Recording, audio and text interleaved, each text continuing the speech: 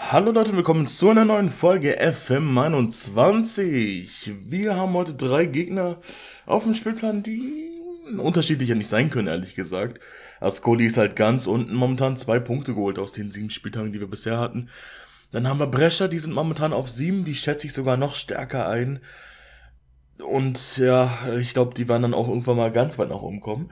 dann haben wir Genua, die sind momentan auf zwei. Das ist also der stärkste Gegner, den wir momentan haben können.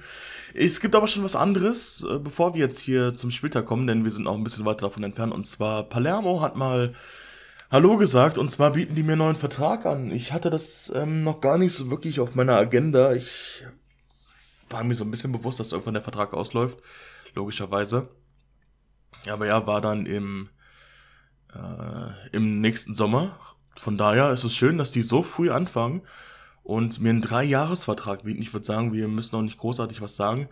Wir nehmen es einfach an und freuen uns dann, dass es weitergeht, dass die unsere Arbeit anscheinend auch gut finden und hoffen natürlich dann auch, dass es dann irgendwann auch finanziell ein bisschen bergauf geht, weil, boah, das ist schon echt äh, sehr, sehr wenig, was wir mal an Transferbudget bekommen nächstes Jahr. Aktuell sind auch nur 26.870 Euro eingeplant. Das ist halt nichts. Davon kann ich halt vielleicht einen Spieler holen. Ablösefrei auch nur. Naja, irgendwo muss doch ein Verkauf dann her, leider. Ich meine, wir haben ein paar Spieler, die wir wohl verkaufen können. Mancini wäre natürlich momentan für andere Feinde der interessanteste. Für mich nicht natürlich das Schönste, nachdem er jetzt gerade im letzten Spiel zum jüngsten Palermo-Spieler aller Zeiten geworden ist, muss das nicht unbedingt sein, dass wir unseren ja, dass wir unser großes Talent gleich wieder abgeben müssen. Aber es wird wohl darauf äh, hinauslaufen, ne? Letztes Jahr das gleiche gehabt. Da habe ich einen Innenverteidiger früh in der Karriere bekommen, den ich dann für 10 Millionen oder so zu Dortmund verkauft habe. Und daraus konnte ich dann alles aufbauen. Und es ging dann halt viel, viel schneller, als es äh, sonst halt gegangen wäre. Mal schauen, ob wir dieses Glück auch hier haben. Wenn ja, müssen wir es natürlich ergreifen. Dann können wir auch noch nicht sagen, ja, ist ein großes Talent, wir wollen Talente entwickeln, aber irgendwo müssen wir halt auch überleben und wollen nach vorne kommen und dann verkaufe ich lieber ein Talent für 10 Millionen Euro und bauen wir dann einen richtig guten Kader auf, auch mit vielen guten Talenten, als wenn ich dann halt dieses eine Talent habe und äh, daran festhalte, bis dann wahrscheinlich der Vorstand eh irgendwann sagt, wir verkaufen den jetzt. So, wir hatten ähm, Tito und Elvedi im Team of the Week. Ich weiß gar nicht, wollen wir eigentlich was ändern für das nächste Spiel? Wir haben 2-1 gegen Frosinone gewonnen. Ein knappes Spielchen. Pichitella Colombo waren nicht so gut. Lobato Bro kamen rein. Na, mal gucken. Gerade so was die Fitness anbelangt, gleich gegen Ascoli.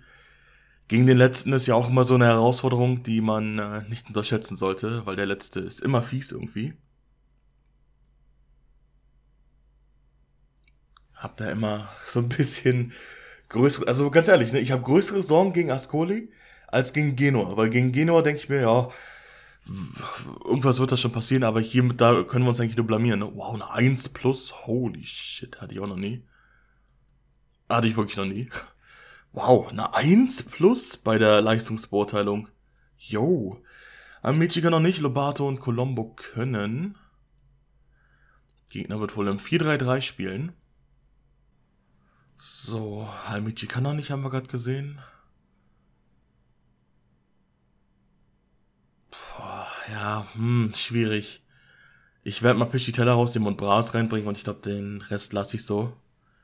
Gerade auch fürs Einspielen. Nur Pichitella hat jetzt echt ein paar Spiele in Folge, die nicht gut waren. Und dann wollen wir was anderes machen.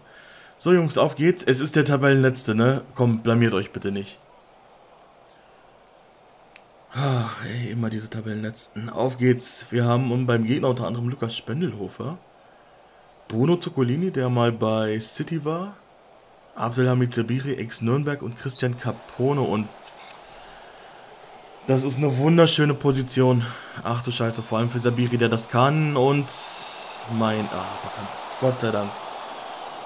Haben wir ein Glück, ey. Jungs, das kann nicht euer Ernst sein, so eine Freistoßposition zu provozieren. Das war sehr knapp mit dem Abseits. Eieiei. Sehr glücklich. Sehr, sehr glücklich.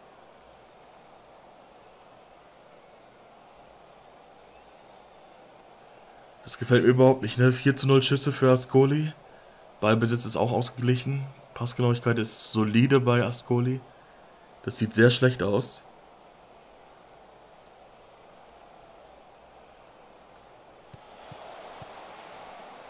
Ist sehr viel Platz. Generell hat Ascoli extrem viel Platz und macht natürlich auch das Tor. Scheiße. Ja, das ist das typische Spiel gegen den Tabellenletzten. Wir kriegen nichts auf die Kette, weil wir einen Arroganzanfall haben. Und das als Aufsteiger. Unfassbar. Unfassbar.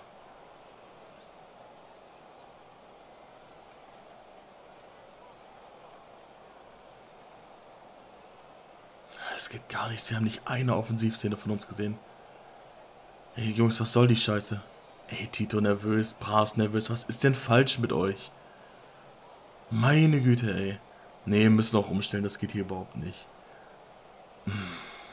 Also Pischiteller kommt wieder rein. Wird Flügelspieler auf Angreifen, Biashi ebenso.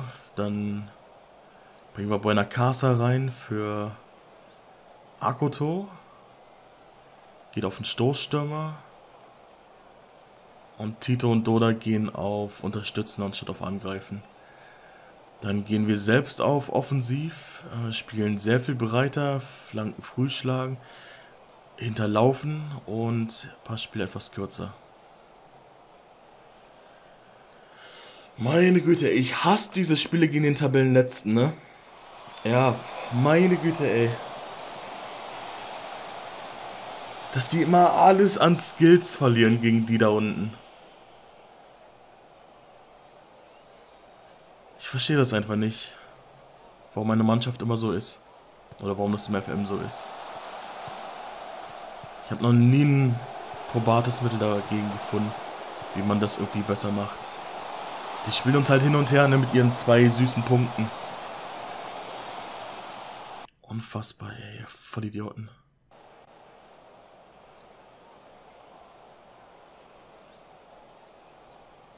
Ich gehe mal noch ein Stückchen breiter.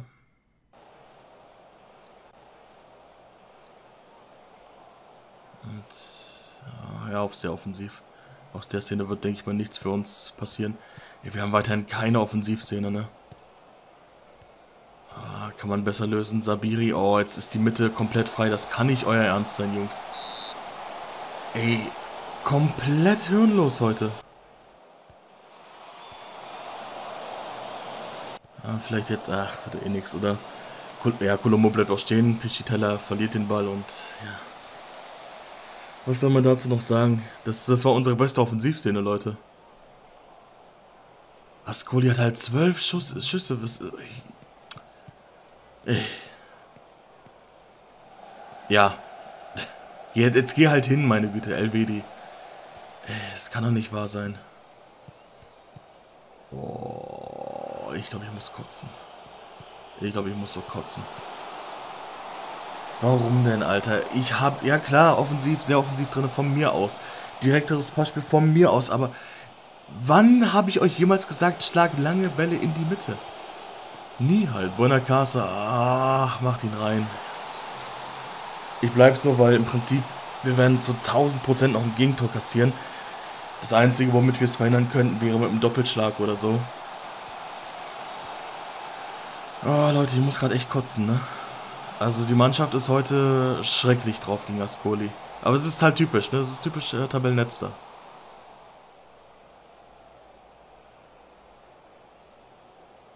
Ja, zu weit weg. Nicht energisch genug. Tito passt auch nicht auf. Wir können von Glück sagen, dass Paroni heute einen soliden Tag hat. Bisher zumindest. Müssen die Woche... Ja gut, wir haben keine Woche leider. Ich wollte gerade sagen, in die Woche viel Defensive trainieren. Aber leider sind es nur drei Tage und die können wir nicht großartig zum Training nutzen.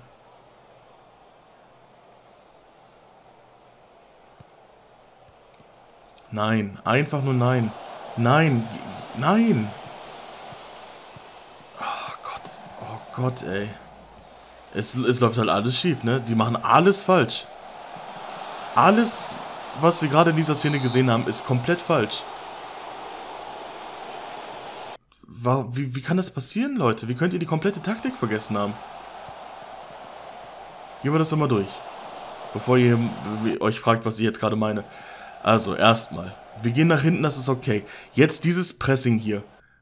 Verstehe ich nicht so wirklich von, von Marconi, dass er jetzt hier die Lücke zumacht, weil wenn der Pass, der, der Pass, der kommt, ne? Marconi zieht jetzt zu Elvedi, warum auch immer, und würde damit halt für den Doppelpass, den Elvedi dann leider spielt, den äh, Weg freimachen für D'Alessandro. Dass Elvedi hier die Grätsche macht, verstehe ich halt überhaupt nicht. Das ist nicht in der Taktik drin, dass die allzu viel grätschen sollen oder so.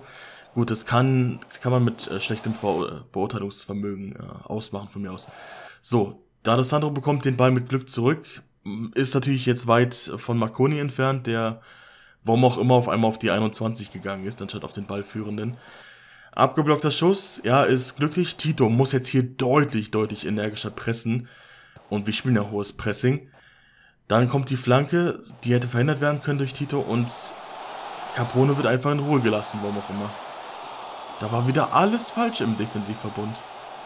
Tito, langer, langer Einwurf. Petrucci kriegt ihn nicht. Ranocchia muss ihn kriegen, muss um auf Tito spielen. Hat ein bisschen lang gezögert. Jetzt ist alles weg. Das war schrecklich dämlich. Ach. Heilige Scheiße, zum Glück ist er so arrogant. Ranocchia muss sofort auf Tito spielen und dann haben wir höchstwahrscheinlich das 2 zu 1. Aber nein, er zögert und spielt einen hohen Ball in die Mitte für den Konter des Gegners. Schreckliches Spiel. Das war, das war überhaupt nichts. Nee, nicht, nicht nervös sein. Nee, es war einfach nur schrecklich schlecht von euch. Das war das schlechteste Spiel.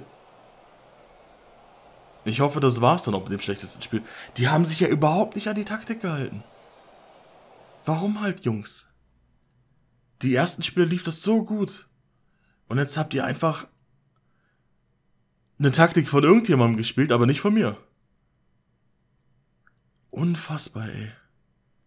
Das regt mich immer so oft und das passiert halt so oft gegen die Tabellenletzten, dass die einfach aufhören, also unsere Spieler dann aufhören, Fußball zu spielen. Ja, Bras war auch schlecht. Generell waren extrem viele schlecht. Ganz ehrlich, ich glaube, der Einzige, der okay war, war, war Bras. Ah. Ja, es ist einfach so frustrierend. Ne? Du denkst dir halt die Taktik aus, du siehst halt, was sie spielen können, auch gegen richtig starke Gegner, Frosinone beispielsweise. Es läuft echt gut in der Liga. Und dann kommt der Tabellenletzte, ne, der halt komplett unterlegen sein sollte, aufgrund der Tatsache, dass er bisher halt super schlecht gespielt hat. Und eine Mannschaft hört einfach komplett auf, Fußball zu spielen und macht eigentlich die gegenteiligen Sachen der Taktik.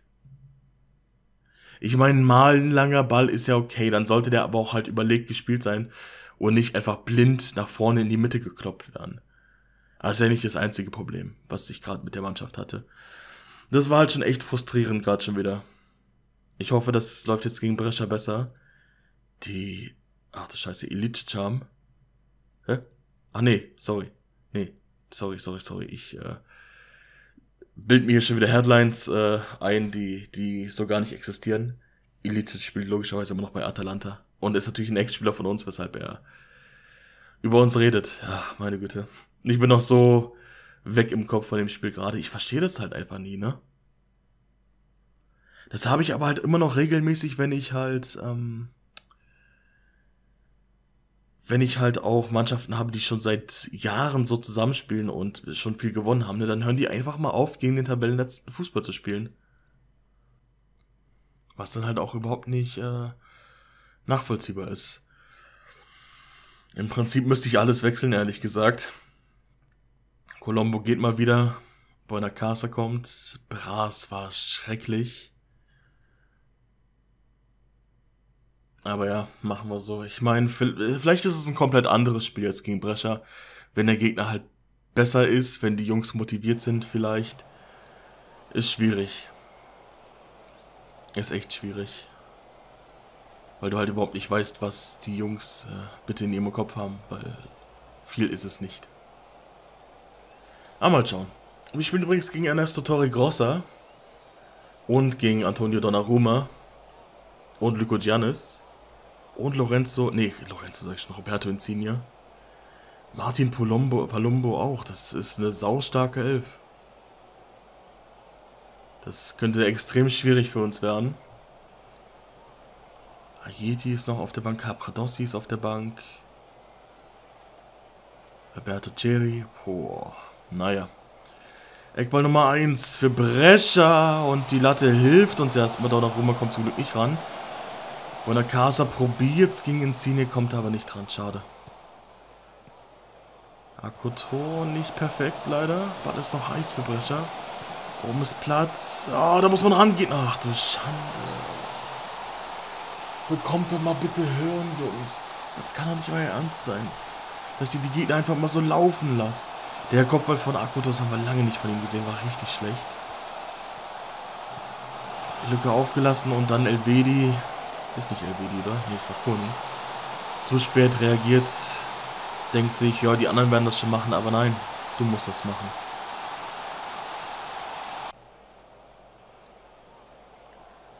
Eieiei. 0-1, natürlich der erste Torschuss. Wie sollte es auch anders sein?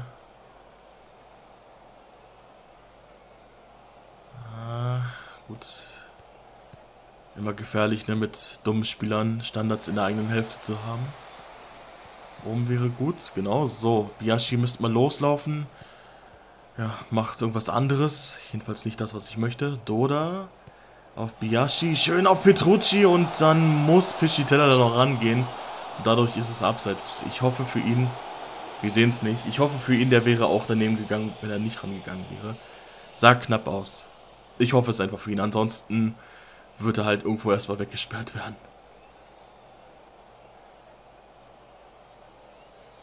Ah, das ist leider nichts bisher. Brescher pusht. Mit dem krassen Kader kein Wunder. Ah, Szene direkt nach dem Anstoß. Ah. Ist auch nicht so das, was man gerne sehen möchte. Vor allem sowas. Oh, Gott sei Dank, Baroni. Puh, Petrucci ist auch nicht mehr so fit. Der wird wohl gleich ausgewechselt werden. Bro wäre eine Idee, Lobato natürlich auch. Tendenz geht eher zu Lobato.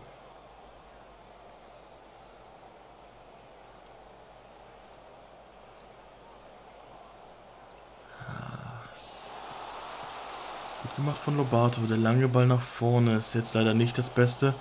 Biashi kriegt ihn. Ah, Anspielmöglichkeiten sind sehr rar und deswegen haut er den Ball natürlich auch direkt in Palumbo rein. Besserer Kopfball jetzt von Akoto. Doda ist in der Mitte, warum auch immer. Oben ist viel Platz für Tito. Er schießt und macht das Tor. Wow. Habe ich jetzt ehrlich gesagt nicht so erwartet. Ich wollte schon anfangen zu haten, von wegen, warum schießt du und legst dich einfach ab. Aber gut, Doda auf den anderen Außenverteidiger und schon macht er ein Tor. Starker Schuss aber.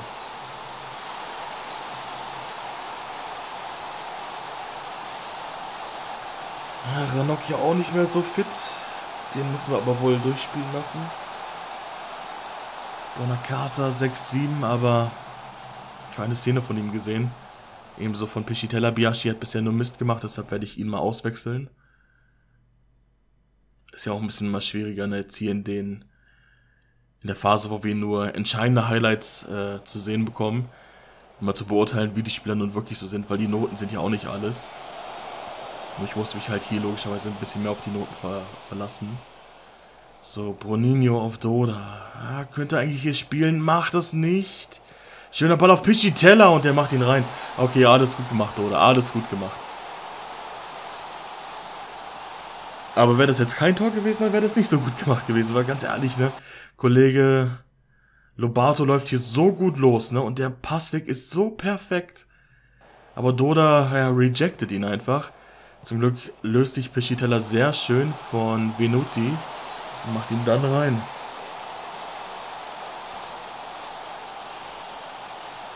Standard gegen uns. Ah, erstmal geklärt. Bruninho Konterchance. Muss ich pushen. Unten ist Platz, Mitte ist Platz.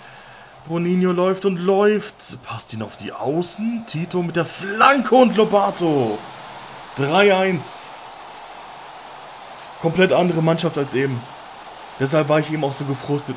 Jetzt sehen wir halt, wie gut die Mannschaft sein kann. Und eben war das halt absolut gar nicht. Das war wirklich eine andere Mannschaft eben gegen Ascoli. Und jetzt haben wir wieder die richtige Mannschaft. Sehr schön. Guter Kopfball von Lobato, der sein erstes Tor für uns macht. Schon wieder eine Szene direkt nach Anstoß. Muss nicht sein.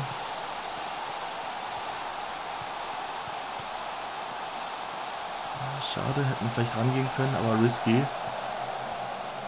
Du musst natürlich auch aufpassen, wenn du zu viel presst, dass du die Lücken woanders auflässt. Vor allem in einem Pressing, was halt vielleicht nicht so erfolgsversprechend ist. Oh, Tori Grossa. Oh, zum Glück daneben. Die werden nochmal eine Schlussoffensive starten. Jetzt Tori Grossa nochmal zurück auf Donnarumma. Oh, Jungs, passt auf diese Doppelpässe auf und Paroni. Oh, joi, ich ziehe mal meine beiden Außenverteidiger nach hinten. Rolle bleibt gleich, nur dass sie ein bisschen defensiver sind. Pichitella auf Bonacasa. Können laufen. Müsste jetzt passen vielleicht, aber macht das nicht. Vergisst es zu passen. Und Lico Giannis kriegt dann den Ball. Letzter Wechsel bei uns ist Erante, der reinkommt für Bonacasa. P4-2 jetzt bei Brescia. Fünf Minuten noch. Ist noch alles drin leider. Aber sieht gut für uns aus. Vier Minuten oben drauf. Nochmal ein Eckball für uns. Tito, Rainer. Äh, Jungs, hallo? Also Pischitana hätte ruhig mal ein bisschen energischer hingehen können. Schön aufgepasst von Marconi. Bisschen riskant der Ball von Tito, aber ist ja angekommen. Erante. Ja, lässt sich nicht wirklich stören und auch nicht dazu verleiten, den Ball mal abzuspielen. Und dann kommt so ein cooler Ball. Aber bringt Zeit und bringt uns den Sieg. Sehr schön. Boah, wo war, wo war diese Mannschaft halt eben gegen Ascoli, Jungs? Ihr könnt's doch. Sehr schön, Jungs. Vor allem auch nach dem Rückstand gut wieder zurückgekommen, keinen Mist gemacht. Es geht doch. Warum halt nicht gegen Ascoli, ne? Aber gut, so ist es halt. Elf Tage bis zum nächsten Spiel. Puh. Ja, würde ich sagen, machen wir einen kleinen Cut, ne? Weil es passiert ja nicht wirklich viel. Ich werde nur scouten. Verträge werden wir nicht verlängern oder so. Welche Verträge laufen eigentlich aus? Uh, wieder einige. Oh ja, deutlich sogar. Hm. Oh, scheiße, ey. Also insgesamt haben wir in der ersten Mannschaft zehn Verträge, die auslaufen. Petrucci würde ich sagen, werden wir wohl verlängern. Ist ein sehr wichtiger Spieler für mich, pusht immer wieder und ich glaube, der ist noch ein Jahr gut. Marconi eher nicht. Paroni werde ich wahrscheinlich mit ihm verlängern. Aufgrund seiner guten mentalen Werte. Pichitella eher nicht. Tito aktuell ja. Sommer eher nicht, gerade mit dem Gehalt. Bro schwierig, kommt drauf an, was er verlangt. Aber Tendenz geht zu Nein, denke ich. Doda vielleicht, kommt drauf an, was er verlangt. Nono nein und Akuto, oh, schwierig. Kommt drauf an, wie er sich noch so präsentiert. Also es ist erstmal kein akuter Handlungsbedarf. Vielleicht bei Tito. Aber ich weiß nicht. Sommer würde ich wahrscheinlich sogar im. ja, Sommer würde ich dann wahrscheinlich sogar im Winter verkaufen wenn er weiterhin nicht so viele Einsätze bekommt und sich keiner bei uns verletzt, damit man vielleicht noch ein bisschen Geld abstauben kann, wenn es geht, please. Aber schwierig. Ich würde mal sagen, ich mache mal einen Cut und dann sehen wir uns gleich wieder zum nächsten Spiel, weil in den zehn Tagen wird nicht viel passieren. Und wenn doch, kann man ja einfach sofort wieder zurückschalten. Also bis gleich. So, da sind wir auch schon wieder. Äh, nichts passiert. Der Akoto hat eine Warnverhärtung, aber dürfte spielen können. Jedenfalls äh, hoffe ich das, dass er komplett durchspielen kann, aber sieht gut aus. Almici 45 Minuten wird auch erstmal nur auf der Bank sein. 4-3-3 ist es bei Genoa und ich würde sagen, viel ändere ich nicht. Hab Boninho reingepackt für Biaschi, sonst. Ja, sonst nichts. Lobato war gut, aber ich glaube, Petrucci ist besser. Tut mir leid, weil er hat ja gut gespielt, aber meine erste Wahl ist halt dann immer noch Petrucci. Aber wird so oder so schwierig, ne? Erste gegen Zweiter, Genua ist Aufstiegsfavorit. Wir eher nicht. Aber wir haben auch schon starke Gegner besiegt. Mal schauen, vielleicht kriegen wir jetzt auch auf die Fresse, wer weiß. Bitte nicht. Bitte nicht. Auf geht's. 4-3-3, wie gesagt, beim Gegner, die auch sofort mit Dorado die erste Chance haben. Melegoni mit dem Kopfball auf die Latte oder über das Tor. Äh, Geno hat auch noch Marco Brescianini, der ist auch ganz gut. Stefano Sturaro. Filippo, Mele äh, Filippo Melegoni. Das ist schon ein guter Kader, vor allem in der Mitte. Schade. Krapikas nimmt da einfach mal den Kopfball von Akoto aus der Luft. Was fällt dem denn ein? Oh, kurz. Aber haben genug Platz. Oh, Baroni, was machst du denn? Oh mein Gott. Oh, oh, oh. Wie kann das kein Gegentor sein? Alter. Wie konnte das kein Gegentor sein? Okay, das ist äh, sehr glücklich. Das ist extrem glücklich. Puh. Geht gleich weiter. Wieder ein langer Ball nach vorne. Marconi dieses Mal mit dem Kopfball. Ranok hier vielleicht ganz unten. Hat er gut gesehen, den Doda. Ah, kommt er da irgendwie durch? Nee. Auch kein Foul. Gut aufgepasst von Elvedi, der den Ball jetzt mal abspielen sollte, weil er ist kein Rechtsaußen. Petrucci auf Doda zurück. Nochmal zurück auf Petrucci. Schöne Flanke. Und dann Buonacasa leider drüber. Ach man, diese Kopfbälle im FM, ne? Schade. Risky der Ball von Ranocchia, der war leider schlecht. Wieder mal so ein langer Ball in die Mitte, der nicht dazu gehört. Akkoto gut aufgepasst. Wieder so ein langer Ball in die Mitte. Jungs! Ach, und dann ist es immer noch nicht passiert. Paroni, Dankeschön. Aber Leute, ihr könnt doch nicht diese hohen Bälle in die Mitte spielen. Warum denn? Es ist komplett okay, wenn ihr den wegschlagt, aber doch nicht bitte in die Mitte. Boninho mit dem Eckball. Marconi versucht ranzukommen, aber wird geblockt. Ganz schön. Komm, Boninho links, rechts vorbei. Oh, oh, es gibt Elfmeter. Ja, Buena Casa wird den ausführen. Einen hat er, glaube ich, gemacht, wenn ich es richtig im Kopf habe. Den nicht.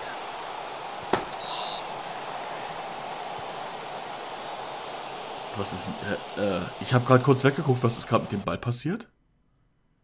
Das sah äh, nicht wirklich richtig aus, von der Physik her. Erstmal Meter super schlecht, aber auch gut gehalten.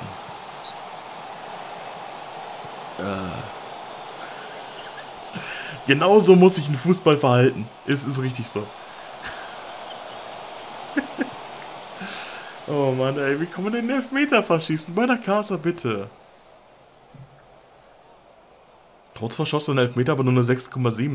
Das ist... Weiß ich nicht, ob das gut ist. Mich stört dass er den Elfmeter verschossen hat, logischerweise.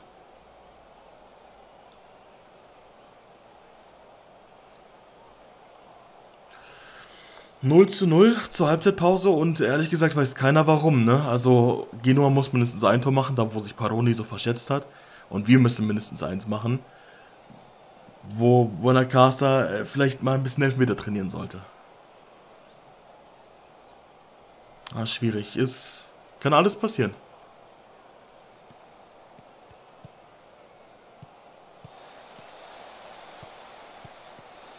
Ah.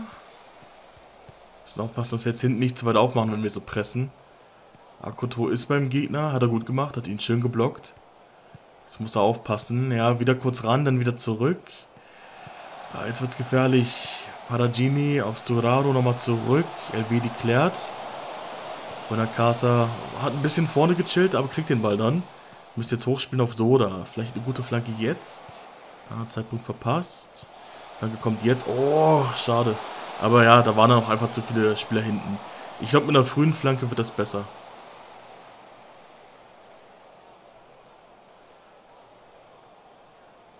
Ich werde mal Nuno das Silber reinbringen für Pichitella. Neuer Impuls da vielleicht auf den Außen, vielleicht ein bisschen die Frische als Faktor nehmen, dass es da mal eine gute Szene gibt.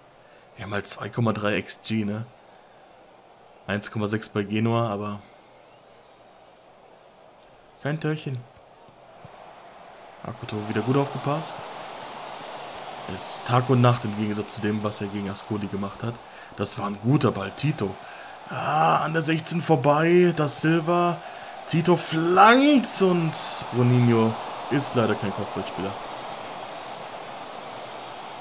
So, Colombo oder Irante? Irante.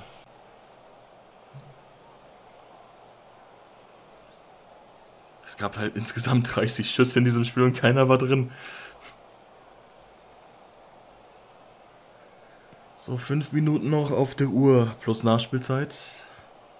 Wir haben den Ball mit Marconi. Hm, Vorsicht, Jungs, bei sowas. Genor gerade ziemlich weit hinten. Vielleicht jetzt in den Rückraum. Petrucci! Jawoll! Genauso. Genauso. Das war halt endlich mal klug. Also gut, generell spielen wir nicht dumm bisher. Aber es war halt richtig klug, ne? anstatt den Ball halt irgendwie blind vorne reinzuballern. Man sieht ja, ne, wie, man sieht komplett, wie Genor sich hier nach hinten zurückzieht. Da haben wir doch keine Chance, mit einer Flanke vors Tor zu kommen. Mit hier einer Viererkette und hier einer Viererkette.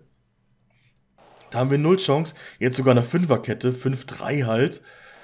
Doda sieht das irgendwie, zum Glück. Nimmt dann Bruninho mit, der dann zum Glück auch nicht flankt. Der, der Weg wäre halt frei, ne, für eine Flanke.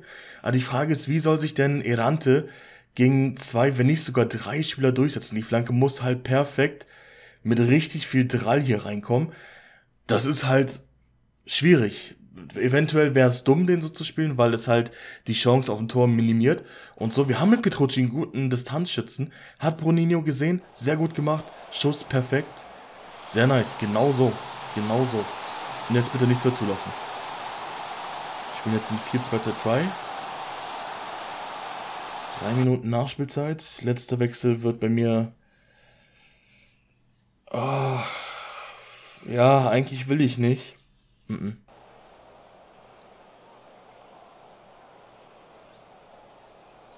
Super nice, Jungs, super nice. Oh, ist das schön. Richtig schön. Wir haben klug gespielt, wir haben gut gespielt. Sehr schön, Jungs. Es ist ein bisschen einfach, ehrlich gesagt, aktuell schon wieder, aber sehr nice. Aber ich frage mich wirklich, was dann halt gegen, gegen Ascodi los war, ne? Das war komplett zwei andere Spiele. Aber gut. Oh, sehr schön. Wir sind immer noch Tabellenerster nach 10 Spieltagen. Und das halt, weil das Momentum auf unserer Seite ist. Wir spielen natürlich richtig gut, aber puh. Cittadella auf Platz 7, dann Perugia auf Platz 13 und Benevento auf 8 sind unsere nächsten Gegner in der nächsten Folge. Vielleicht können wir unseren Run ja fortsetzen. Ich weiß nicht, ne? Also momentan haben wir halt das Glück, dass der FM uns viel Momentum gibt, weshalb wir jedes Spiel halt gefühlt erfolgreich bestreiten. Gut, das erste Spiel heute mal ausgenommen. Aber wir spielen natürlich unfassbar über unseren Möglichkeiten. Dank dem Run, der einfach OP ist. Aber wollen wir darüber nicht jetzt meckern. Mal schauen, Cittadella, Perugia und Benevento könnten fiese Gegner sein. Ne? Das sind so Gegner, die sind halt nicht perfekt krass wie beispielsweise Frosinone oder Genua. Aber die können einem halt schon wehtun. Das ist dann halt die Frage, wie meine Mannschaft das annimmt. Wie, wenn wir gegen Ascoli oder wenn wir wie gegen Ascoli spielen, werden wir auf jeden Fall verlieren. Wenn wir so spielen wie gegen Brescia oder Genua, dann werden wir wohl drei Siege holen. Mal gucken. Also, ich würde sagen, bis zur nächsten Folge. Die gibt's am Mittwoch. Bis dahin. Tschüss.